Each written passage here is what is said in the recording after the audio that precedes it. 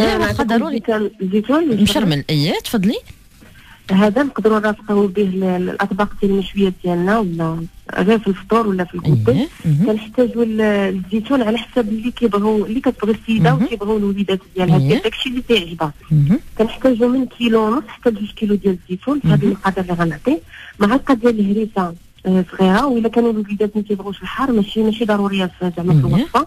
كنحتاجوا قبضة ديال القزبر معلوف كيكون القزبر معلوف بكمية كثيرة جوج معالق كبار ديال الكمون مطحون جوج معالق كبار ديال القزبر يابس مطحون معلقه كبيرة ديال السودانية ولا الفلف- الفلفل الحار الملح شوية الملح حيت غادي نستعملوا فيه الضامة وغنستعملوا الحامض المسير ما. نكثروش الملح.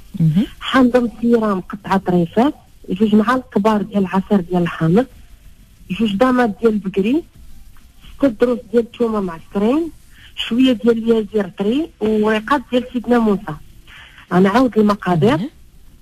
كنحتاجو كيلو ديال الزيتون حتى لجوج كيلو. معلقة ديال الهريسة قبضه ديال القزبر ومعدنوس جوج معالق كبار ديال الكمون مطحون جوج معالق كبار ديال القزبر يابس مطحون معلقة كبيرة سودانية ولا فلفل الحار الملح حامضة مسيرة مقطعة طريفات جوج معالق كبار عسل ديال الحامض.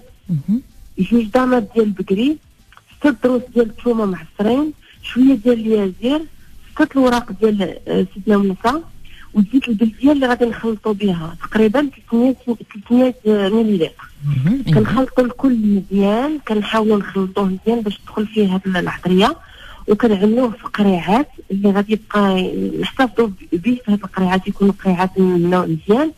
وكنغطيو عليه الزيت باش ما يغمقش لينا كنعملوه في الثلاجة إذا كان آه، إذا كان الحل بارد ما كنحتاجوش نديروه في الثلاجة وإذا كان الجو سخون من الأحسن نستعملوه نديروه في الثلاجة نبيعوه في الثلاجة. وبصحه وراحه الله يعطيك الصحة تبارك الله عليك منيو متكامل تبارك الله عليك زينة كيف ما عودتينا دائما وكنشكرك بزاف آه، بزاف. مرحبا.